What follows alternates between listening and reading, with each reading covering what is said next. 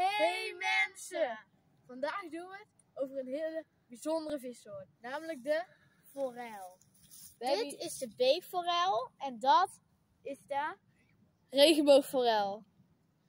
Dit zijn twee soorten en deze, deze, is- de- die is meer bruinig met een beetje rode stippen en deze heeft felrode stippen zoals je ziet.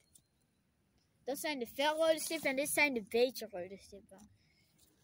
En deze vissen, welke het ook is, die hebben super scherpe tanden. Oh, en trouwens, kijk waar we zijn.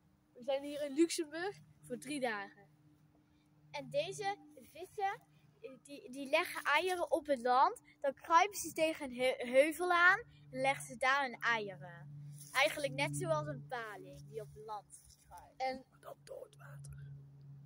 Door het water. ehm, en eh, ze zitten so- zitten soms ook in de zee. En dan gaan ze weer naar zoetwater en dan weer naar zee.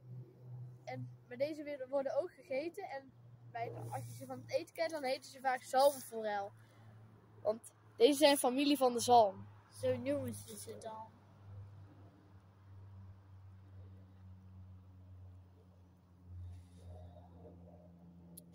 En je ziet er ook heel goed de tanden. Het zijn een paar kleine puntjes. Een paar heel veel. één nadeel. En dat is namelijk dat ze super glibberig zijn. En als ze één keer spartelen, dan valt het gelijk uit je handen. Nou, dit was de video over de, De forel. Vergeet niet Niet te abonneren abonneren en te en te liken. liken. Later.